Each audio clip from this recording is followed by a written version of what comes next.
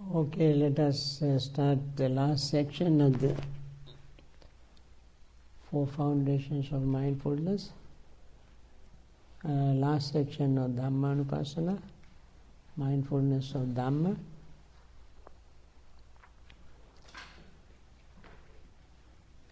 This uh, deals with uh, Four Noble Truths. I heard some one day somebody said uh, uh,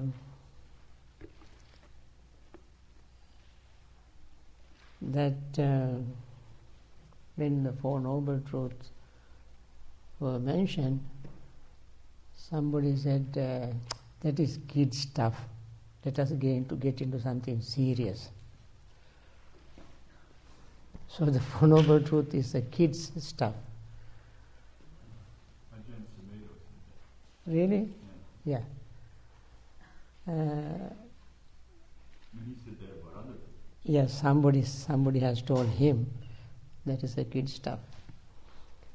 So that statement is a very interesting statement because uh, that shows either that person is uh, better than the Buddha or deeply uh, immersed in ignorance. That person's ignorance must be so deep that uh, Buddha spent uh, eons and eons and eons in samsara, and he just said uh, many a birth in uh, through many a birth in samsaras, seeking but not finding the builder of this house, sorrowful is to be born again and again. O house builder, thou art seen, thou shalt build no house again. All thy rafters are broken, the ridgepole is shattered, the mind has attained the unconditioned. Only after attainment of enlightenment he was able to make that kind of declaration. But somebody who has never million miles close to the that kind of attainment says that uh, Four Noble Truth is uh, kid stuff. Surely, when you hear the words, four words, even the four words don't make any sense.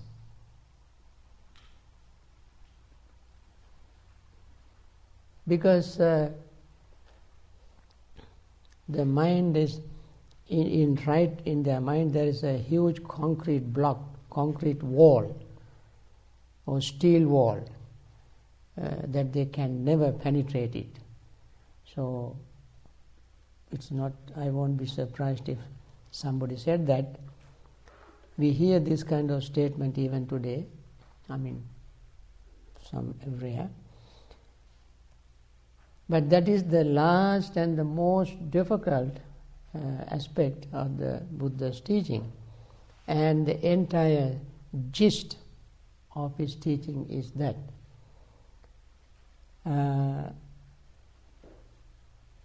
after 45 years teaching, he said, Because I have taught you all these 45 years only four words, nothing else.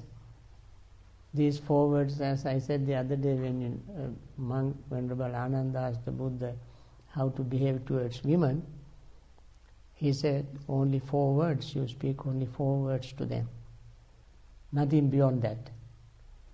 And he spent 45 years to- talking about these four words. so, in this uh, mindfulness practice, that also comes as last. Up to this point, everything we discussed is related to these Four Noble Truths. Now, here we come to a sort of uh, dovetailing, tying all these loose ends together.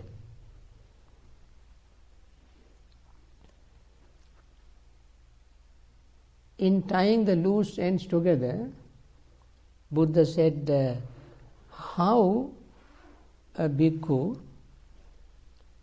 dwells contemplating mind objects as mind objects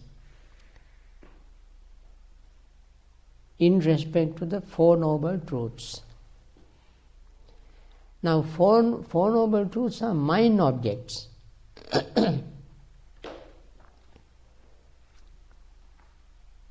when you say mind objects, sometimes it may occur to people that it is out there, over there in the world, and mind has just like a tree, house, you know, uh, uh, movie on the screen, something, some kind of mind object.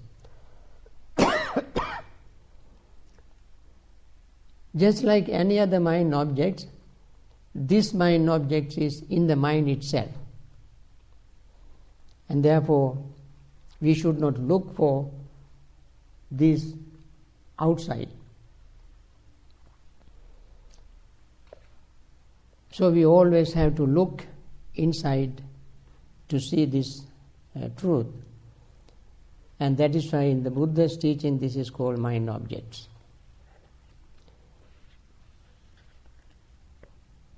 And he asked the question how does a monk dwell contemplating mind objects as mind objects in respect to the Four Noble Truths? Then he outlined Four Noble Truths and simply said, uh, uh, Bhikkhu, understand as it really is, this is suffering.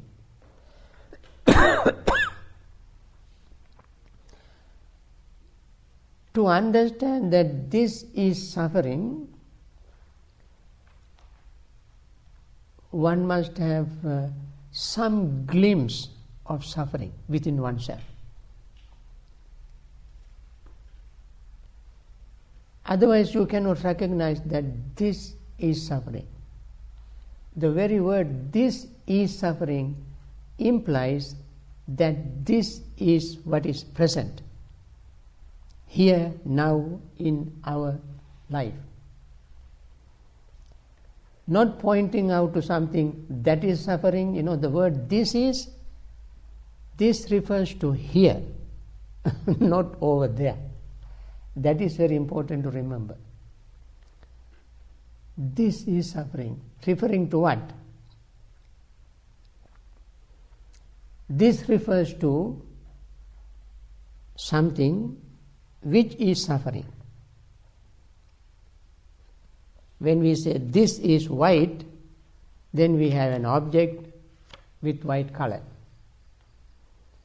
Similarly, when he said a bhikkhu meditator must say, This is suffering.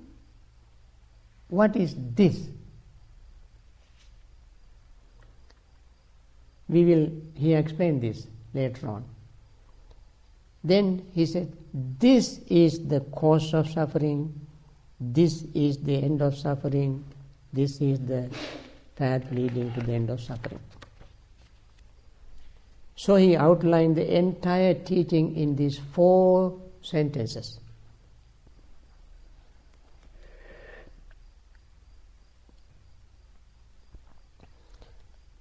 Then he went on explaining the birth is suffering.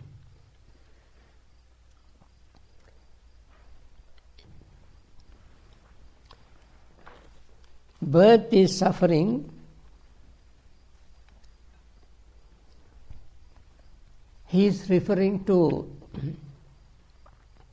the birth that take, is taking place now, this very moment, and the birth that has taken place many years ago. The birth that is taking place now is what is happening now. It is birth, momentary birth, temporary birth, birth that takes place. That is what is called arising, appearing, coming into being. Things are always arising, appearing, coming into being. That also is a birth. And when he said, This is suffering, That is the birth that is now taking place in us here, this very moment. This is suffering.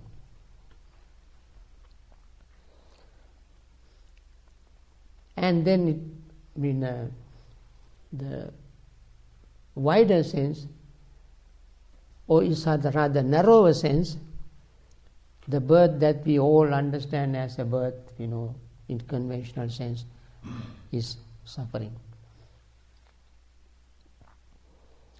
Although we glorify birth, we celebrate birth, we rejoice birth when we are born. We, uh, every year uh, we celebrate it. We celebrate birth in order to forget the sorrow that, that we brought with birth.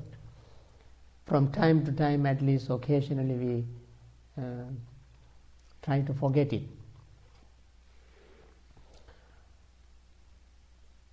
Birth is sorrow, birth is suffering, uh, not only to the mother who gives birth. Buddha was not referring to that kind of uh, short lived temporary suffering, but the suffering is born with the birth.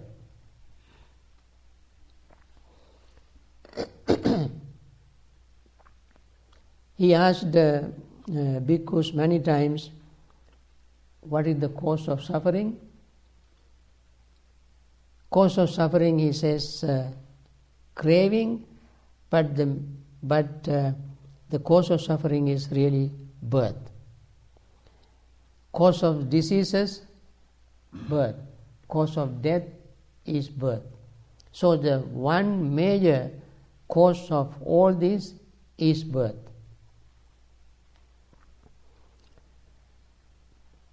Then, uh, along with birth, we all know everything we brought into this life along with birth. Then, decay is suffering. Whenever you hear the word decay, even in the footnote you can see aging and old age. Old age and aging. Do we have to wait that long to see aging suffering? I mean, it is not that long. I mean, that is not a big, uh, big thing. You go to wait for 70, 80 years. Until then, you don't realize it. If a old age is suffering. When Buddha used the word jara, Pali word jara, he referred it to the entire five aggregates. Form is going through aging, feeling goes through aging, perception goes through aging, mental formations goes through aging, consciousness goes through aging. Every moment, all these age when the we we always talk about uh, you know what do you call gerontology, aging cells, uh, because we are so materialistic, and therefore we always refer to material changes, material aging, material growing old. But other four uh, aggregates are totally, completely forgotten. In fact, more suffering is in the aging of feeling, perception, thought, and consciousness, more than the body. Our feeling is aging. Aging means it arises and ages. As soon as feeling arises, it arises with aging. It ages, ages, ages, and then disappears. So feeling dies. Before feeling the, feeling dies, it goes through aging. And that we don't see. Only here our our practice is mindfulness practice, and uh, in the mindfulness practice, as uh, I, want, I want to repeat uh, the things just to put ourselves in perspective. I want to repeat what I said in very um, summary form. In mindfulness, there is a pure attention, pure awareness, pure mindfulness, and there is yoniso manasikara, mindful reflection. These two factors must always go together attention, mindful attention, pure mindfulness, and uh, mindful reflection. Four stages attention and mindful, pure attention, uh, mindful attention. What is uh, mind? Attention is generally anybody can pay attention to anything. You even don't have to be a meditator. Even animals can pay attention. But we go, we train ourselves to pay mindful attention. What is mindful attention? Attention without greed, hatred, and delusion. Then mindfulness, pure mindfulness, is just letting thing mirror in our mind, reflect in our mind.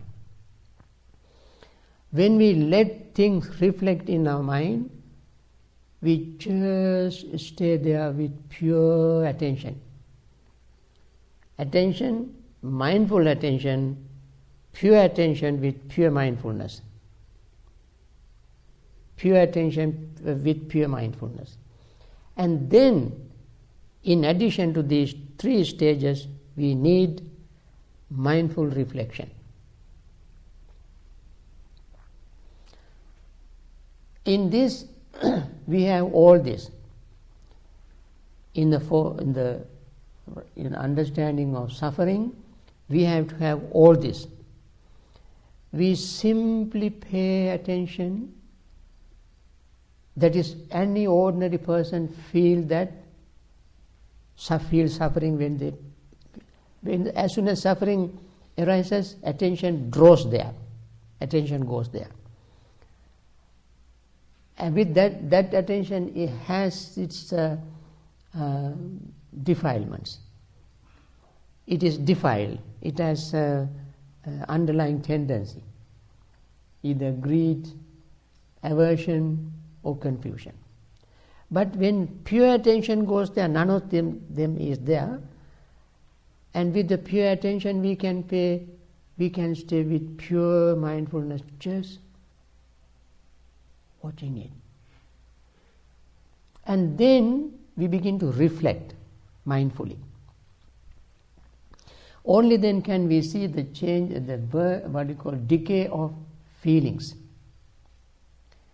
You simply pay at pure attention to your feeling, you definitely will experience growth, decay of feeling. That is, it is slowly decaying and then comes to maturity, mature, and then it passes away. So is our perception. Perception grows, takes birth, grows, and passes away. So are our mental formations. You just take any thought and watch with mindful reflection or watch mindfully, the thought has an age. When the, when the thought reaches its old age, it is stale. We don't want to entertain it, maintain it. Then you need another thought and another thought and so forth. Either thought also go through the same process of aging. Consciousness your awareness wears out. the aware, wearing out of awareness, consciousness is called aging of consciousness. Aging. So, when you watch this very carefully, mindfully, you can see sometimes the feeling arising moment is very pleasant, beautiful. And this beautifully arisen feeling goes through ages, aging, and then it becomes unpleasant. That is how unpleasantness arises. Because of the very nature of the aging of feeling, pleasant feelings turn into unpleasant feelings. Just like this body, very strong, healthy, young, vigorous, uh, you know, courage and so forth. Because of the process of aging, it becomes a burden. Similarly, the beautiful thought, because of the process of aging, turns into a burden. That is, why, that is what is called pain. And unfortunately, it doesn't end there. When it passes away, another pleasant feeling arises. That also goes through the same process. When it goes away, when it turns into unpleasant, painful feeling, then we will be very glad that it is gone. We are very glad. Unfortunately, it doesn't stay that way. Another pleasant feeling arises. If always painful feeling arises and passes away, then we don't worry very much because it is always painful. But it doesn't happen that way. There is a, the feeling teases us.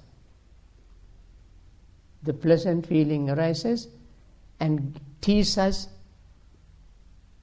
and gives unpleasant feeling and disappears. And therefore, uh, we have suffering. Perception, the same thing. Take about a thought. Have you ever had a beautiful thought and you think, this is wonderful, I must, I must register in the patent office so that nobody will claim the ownership of this beautiful thought.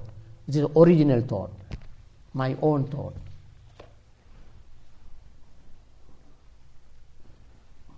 But it has no value after that. Somebody else either will steal it, somebody else will use it, and you have no any thrill from this thought. And within your own mind, the beautiful uh, original thought will disappear when you become more uh, wise, more intelligent, and deepen your understanding that original thought is just nothing. Why? It goes through the same process of aging. so is consciousness. So sometimes people think uh, the Buddha suffering, I have heard people say Buddha talks about suffering, it is just nothing but psychology. Psychology. It is psychological suffering. So they put everything into psychology. Buddha's suffering is much deeper than psychology. It doesn't, uh, unfortunately, it doesn't end with this life. It perpetuates, goes, goes even into next life. And that is why it is so mm, profound. Then, of course, other obvious sufferings uh, disease, needless to say how suffering it is, death is suffering. Death is suffering to the one who dies before death. The very thought of death makes the person suffer. Why the dying person suffers? Uh, because dying person has to leave so many things behind. And that is why dying person suffers. if dying person does not have anything to leave behind, that dying person has only very little to suffer. But so much behind, uh, uh, he or she has to leave behind. Therefore, he suffers.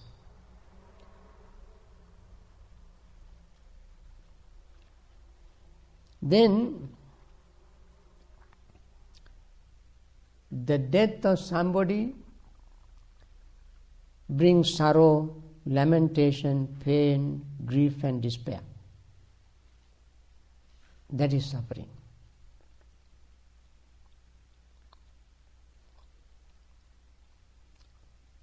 And to be associated with unpleasant is suffering. When we said, when the Buddha said to be associated with unpleasant, he meant everything and every being that is unpleasant. People, places, situation, even one's own unpleasant mental state. For instance, you don't, we don't like hatred. We don't really like it. But it arises. It arises in our mind. Something happens without our consent. So we experience suffering. Depression arises in us. We don't like depression. People suffer from um, uh, bipolar uh, state, go through lot of suffering because emotion hit the ceiling one moment, next moment it goes underground. I mean, emotion goes up and down, up and down, so hard. They don't like it. Nobody likes it.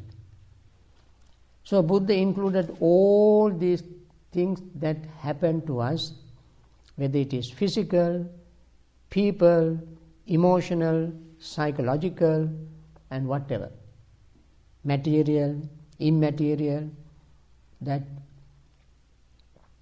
appear that happens to us without our consent. Then to be separated from loved ones, pleasant, pleasant mm, objects is suffering, definitely. Uh, and not getting what one wants is suffering.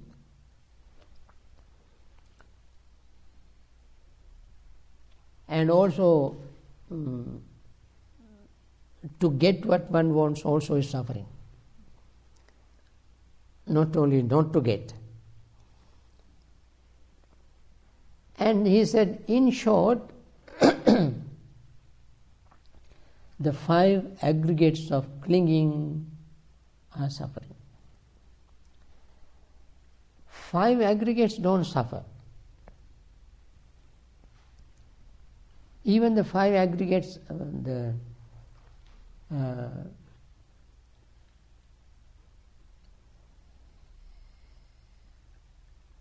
so long as we uh,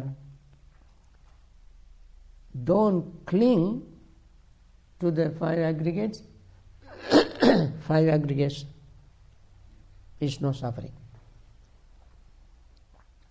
Only when we cling to the five aggregates, then the five aggregates become the object of suffering.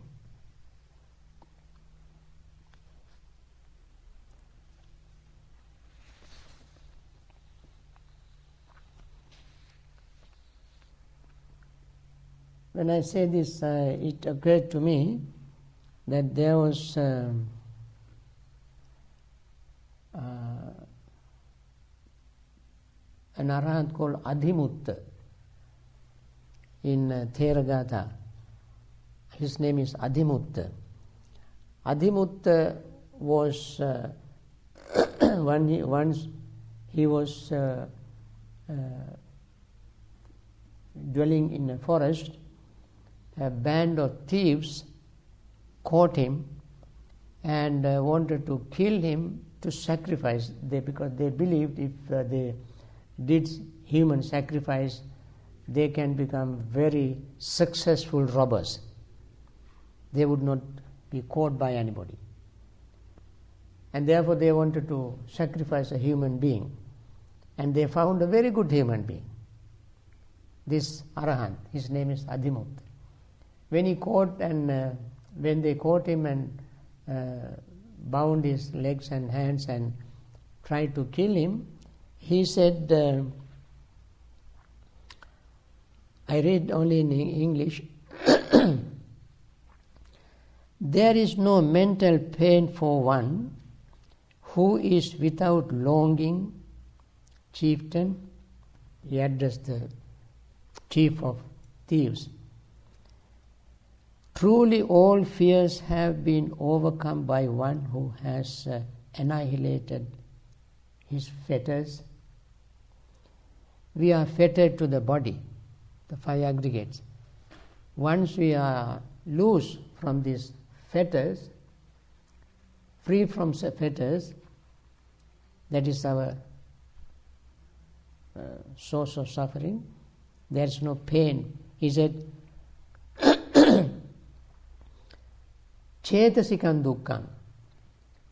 Kayikan dukkam, chetasikan dukkam. Physical suffering and mental suffering.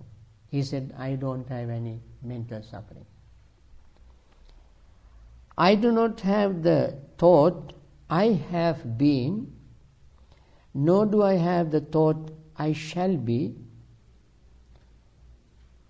the constant element will cease to exist. What lamentation will there be in respect of that? Then he said, There is no fear for one who sees as they really are the pure and simple arising of phenomena and the pure and simple causes continually of the constituent elements chieftain what exists is the pure element pure elements there is no fear for one who, who sees as they really are the pure and simple arising and arising of uh, phenomena and the pure and simple cause continuity. Then he said, when by wisdom one sees with, see, with one sees the world as being like grass and wood, not finding possessiveness, thinking it is not mine, he does not grieve. Group of uh, in in Theragatha there's a section called group of 20 in that you can see these stanzas. So so long as we cling to the five aggregates suffering exists physically as well as mentally so that is why the buddha said in short five aggregates of clinging are suffering. You know, the wording is so confusing. When you say five aggregates of clinging are suffering, that means the aggregates are suffering. Because when you say five aggregates of clinging are suffering, these five aggregates of clinging are suffering. It is not the five aggregates of clinging that suffers, but clinging to those five aggregates that causes suffering. That is suffering.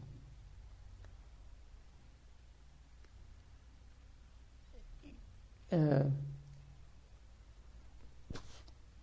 clinging is suffering because when you when we cling to something we always have a, a restlessness and fear uh, of uh, losing what we cling to.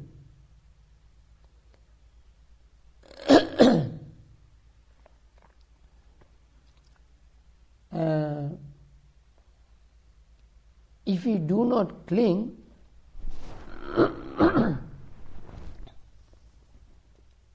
and uh, uh, if you do not cling, we don't fear that somebody will come and you know snatch it away from us.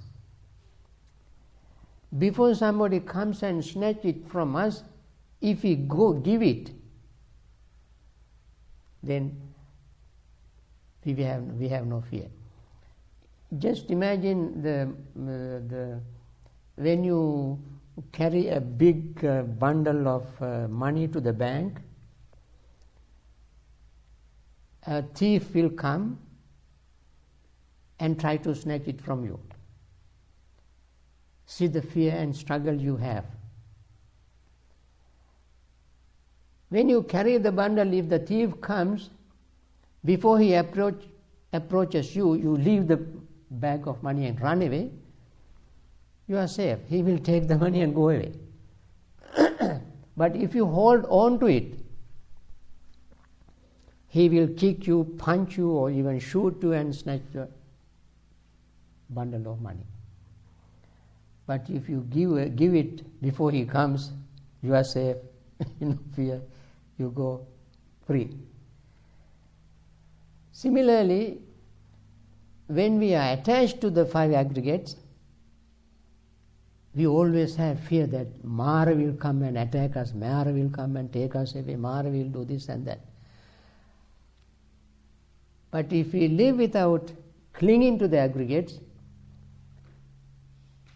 whenever aggregates disintegrate, we have nothing to lose, no fear, no, no suffering. That is the concept that the Buddha was uh, teaching. So,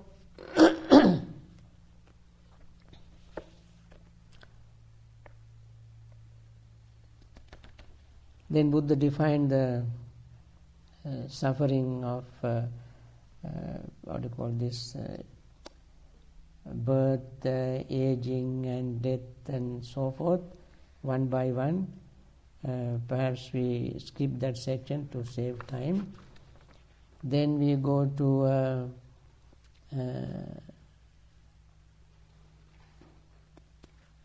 you see the he, he defined the sorrow, lamentation, pain, grief, and despair. Each part is very interestingly defined. Uh,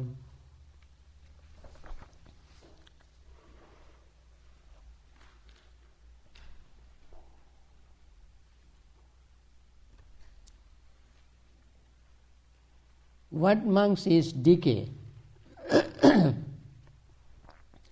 aging, decaying, broken teeth, gray hair, wrinkled skin, the dwindling away of one's years, the weakness of the senses, faculties of various beings in some group of beings here and there.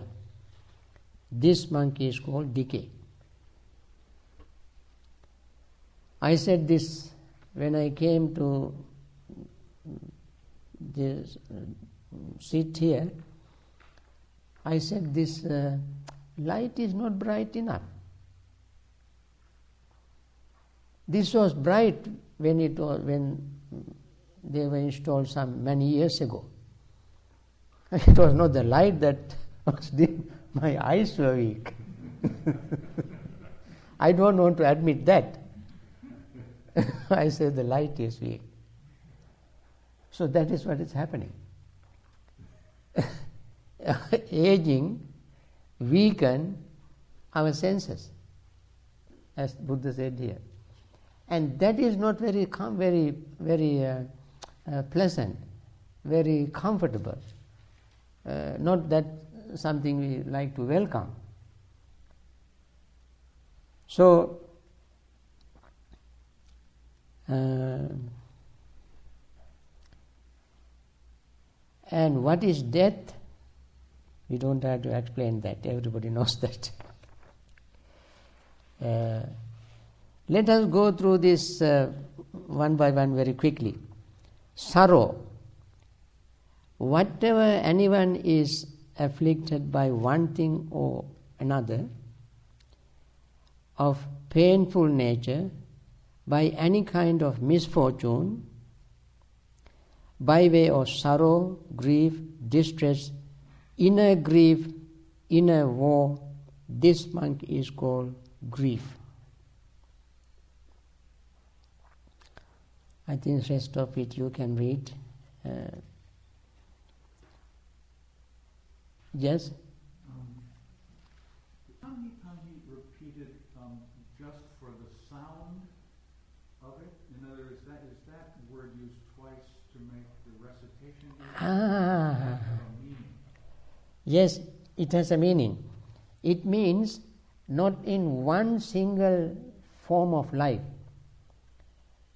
Any different, different, different types of life in various realms human realms, animal realms, divine realms, realms of ghosts, goblins, in order to include all of them, the word tamhi, tamhi is used. Not to preclude any beings.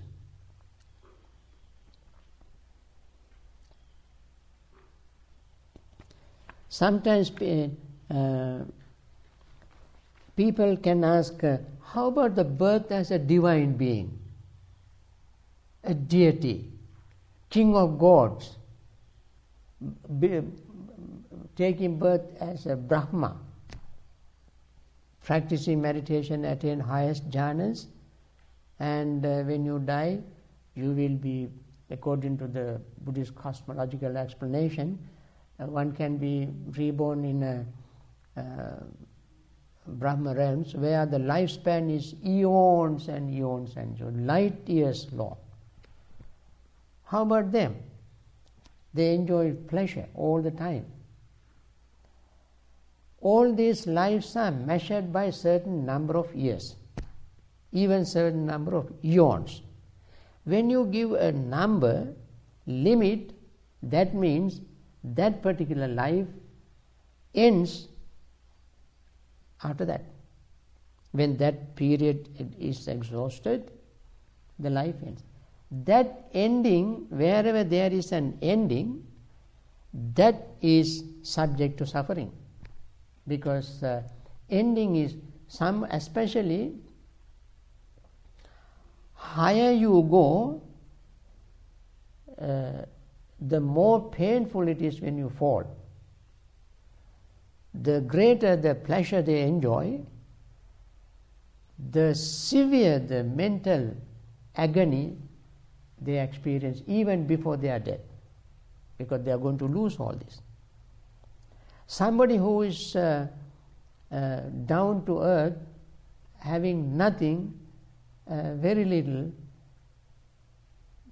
the the suffering from death is not that uh, uh, painful because the person is almost dead, almost miserable. But someone who is enjoying, and therefore, uh, Buddha did not preclude any living being. All uh, beings uh, have suffering. In order to include that, he said, Tesang tesang sattanam tham thammi Tesang, tesang also means uh, beings of those, of those, of those. Tammi, tammi means in those, in that place, in that place, in that place. That means in various forms and shapes of lives.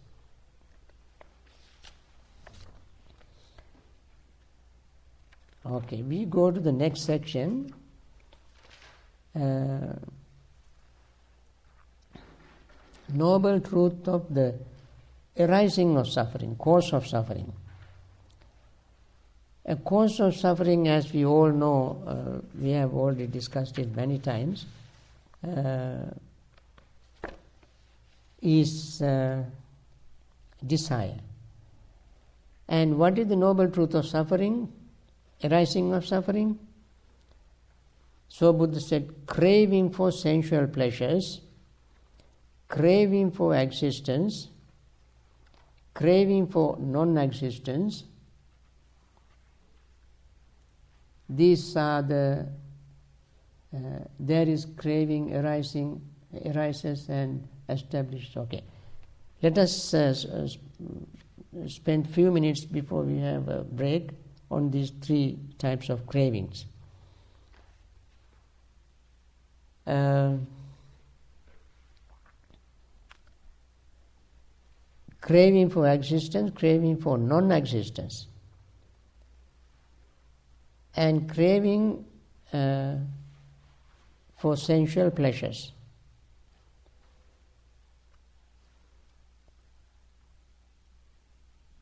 We can understand the suffering arising from craving for sensual pleasures and craving for existence. We can understand.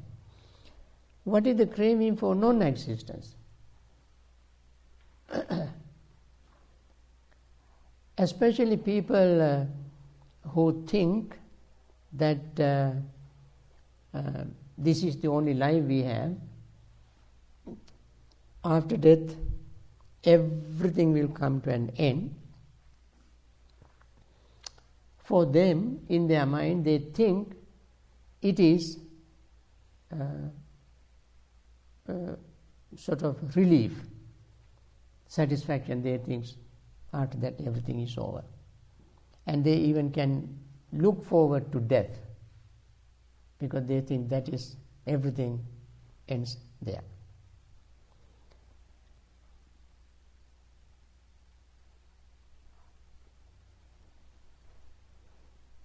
And this is one of the things that Buddha mentioned in not getting what one wants. This is one of the things that he mentioned not getting what one wants. There he said, uh, those beings, he said in Pali, I, I just avoid to use Pali in order to in order to reduce your suffering.